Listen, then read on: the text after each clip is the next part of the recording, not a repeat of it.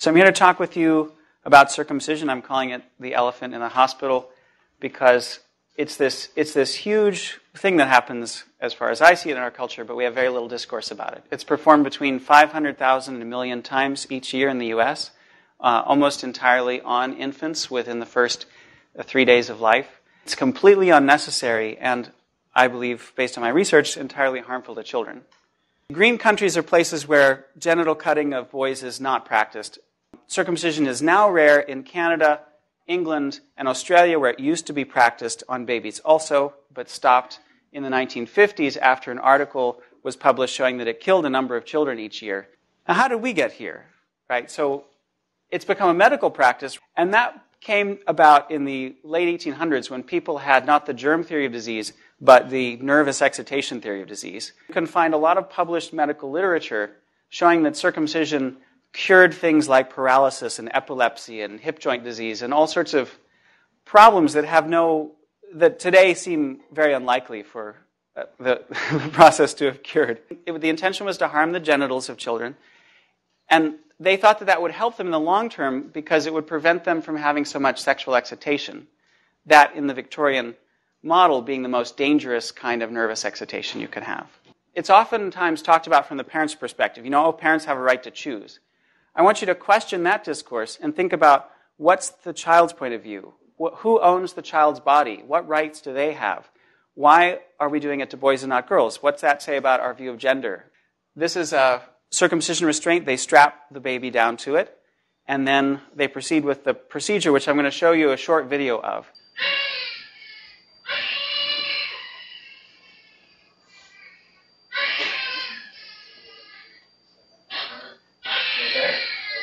Beyond the pain of the procedure itself and the pain of the many days it takes to heal, there are a number of complications that a circumcision procedure puts a child at risk for. You can sort of divide them into two categories. Surgical complications, which go from the more minor, you know, everyone has a scar who's been circumcised. A lot of men don't actually know that the ring around their penis is the circumcision scar, or they learn it when they hear my talk. Penile adhesions, when the healing process goes awry and two parts of the penis that weren't supposed to be connected linked together. At the top left, A, that's called a fistula. The black line going down is a probe that's entering the meatus, the opening of the urethra, and exiting out the additional hole that the physician has caused. B is a nearly amputated head of the penis. C, so much skin of the penis was removed that the child's corpus cavernosa and head of the penis are lodged down inside the scrotum. And D, the penis was accidentally amputated entirely. There are also a number of postoperative complications, ranging from difficulty breastfeeding, bleeding, which is another sort of minimizing term. You see that on consent forms, and you're like, oh, bleeding. Well, it turns out an infant has 12 ounces of blood. So bleeding a couple ounces may actually cause that child to die or need a blood transfusion.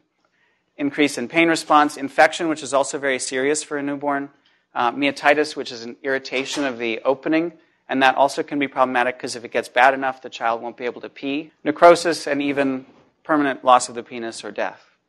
Pediatric urologist, those are the people who get the complications to deal with. And he said in a two year period, he had over 275 kids he had to treat, almost half of whom required surgery. So they were subjected to an additional surgery in order to attempt to correct whatever had happened.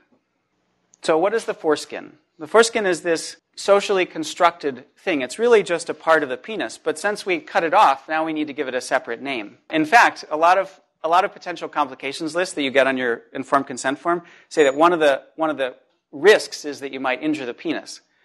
So we've actually constructed a reality or a view of reality in which cutting off part of the penis is not injuring it. It's only if you then cut the part that you had intended to leave that it's an injury. The foreskin in an adult male is the part that would have been removed is about 12 to 15 square inches. It's the size of a 3 by 5 index card. It is the most erogenous part of a human male. It contains 10 to 20,000 fine touch nerve endings, and it also makes the penis shaft skin motile.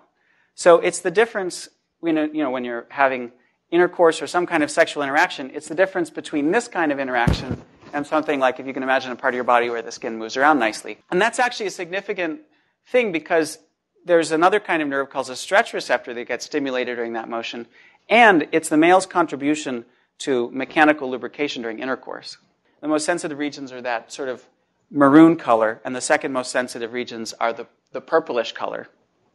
If we compare that to a circumcised penis, what you see is we removed, we've removed most of the most sensitive areas and left just this region around the scar and the remainder of the frenulum is really where most men who are sensitive. Draw on these lines so that you can see how much tissue it is as it retracts.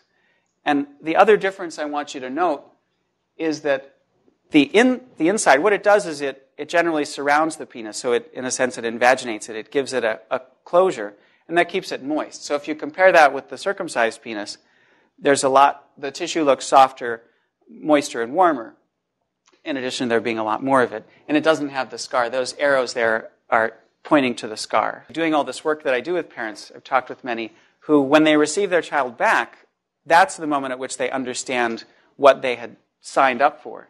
And so there's a, there's a problem with informed consent, both that the information is lacking and that parents are sometimes asked about it at an inconvenient moment. And they're also asked about it in this sort of values neutral way. It's like, you know, would you like a pillow? Would you like a, a cup of tea? Would you like your child circumcised? You know, it carries the same sort of tone. You know, parents need to trust physicians. They're the people who are, the physicians are supposedly the ones who are bringing in the discipline of medicine. And they, so they come in, but they're given this information that is very cursory. It lacks uh, real information about the complications. Those are trivialized. The foreskin functions are completely omitted. It's not mentioned that it's actually a sexual organ. And the ethical questions of making decisions about your children's bodies are omitted. And there's also this undeclared conflict of interest. There's, there's really a lot of commercial use of the tissue. We use it for three things right, that, that I've been able to find. We use it for research, so there's a large, there are a large number of products you can buy from Invitrogen, which is actually a company I buy other things that don't contain foreskin cells from, uh, for my, my biophysics research. And you can buy, so there are some of the product codes. You can go look it up yourself. They really sell things taken from neonatal foreskins. Well, at a hospital, you can get magic skin treatment, which is grown up foreskin tissue. And if you're very wealthy, you can buy cosmetics. The other thing parents don't know is that it's, it's painful for a week or longer afterwards. So the baby's not only in pain during the process, but this wound has to heal. It's a wound on the penis, and babies are very sensitive to pain. And now this new parent who's dealing with the healing process, the process of like figuring out what it's like to have this new baby, also has this added complication. They have to watch for watch for signs of infection. They have to keep changing the bandage, and their baby's more upset than, than he would have been. In comparison, if the child's not circumcised, all you have to do is, well, almost nothing. In fact, you don't even wash the penis. Just like you wouldn't wash your baby's vagina with soap, you just rinse it. You don't retract it. You don't, uh, it becomes retractile on its own. And you have a baby with fewer health problems and who is more content. And if the idea of, you know, doing things to our children because we want them to look a certain way chills you, I'm glad. I want it to chill us. I want us to wonder why are we so busy making our children look like what we think boys and girls should look like? In this case, we have this idea boys should, should look a certain way in their genitals. First, we start by pathologizing a healthy organ. Not only are, is the foreskin absent from most U.S. medical and anatomy texts, there's, no, there's therefore no education about the functions. It's not spoken of as a sexually important organ. Physicians are only taught how to remove it as a procedure, and they're mistaught care. They're mistaught this retract and wash philosophy, which is problematic because the foreskin, when you're born, is usually attached to the head of the penis. What you, what you saw early in the circumcision video was the physician running this tool around to scrape the foreskin loose so they could cut it off. It's bonded like that to protect babies from, well, all the sorts of things that babies do. You know, they might get, they might have feces or urine in their diaper, they might get scratched up. So the foreskin has this protective function when you're young.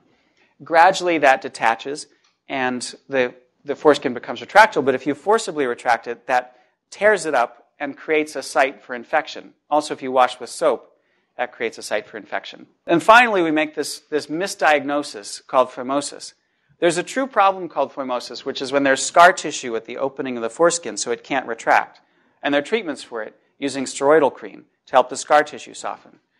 But when we think that a baby who's three weeks old has phimosis because you can't pull the foreskin back without making the baby scream, that's wrong. It's actually meant to be attached that way. It grew that way, and it will become retractile on its own. Most of the people I talk to think it's not their responsibility to do anything about it, including professional organizations like the American Academy of Pediatrics, the American College of Obstetricians and Gynecologists, the practitioners, you know, because their job is to keep practitioners looking good. So if you go against some, you say that something's bad that your practitioners are doing, that doesn't look so good. The ethics committee at the hospital told me that they're not the appropriate venue for this concern. I think all of these organizations are neglecting parents, children, and us. I'm hopeful that I've engaged you with some interest and that maybe you'll go and tell people about this, because if they're not going to take responsibility, I hope that we will. So tell your friends.